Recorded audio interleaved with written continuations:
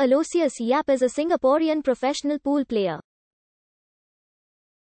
He was World Junior Champion in 9 ball in 2014 and is currently ranked world number 8. Yapp began playing pool at age 10.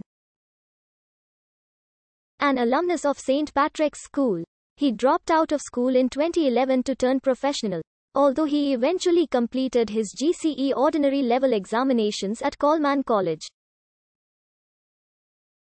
Reportedly the first professional pool player from Singapore. He won the inaugural Asian Junior Pool Championship in 2014.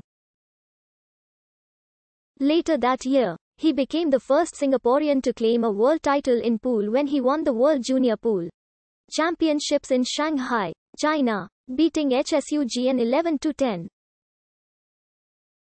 In 2021, he claimed the Singapore National Snooker Championship, defeating defending champion Peter Gilchrist 4 to 2. In the quarterfinals of the 2021 WPA World 10 Ball Championship, Yapp defeated Jason Shaw, which moved him up to 8th in the world rankings. He ultimately finished in third place.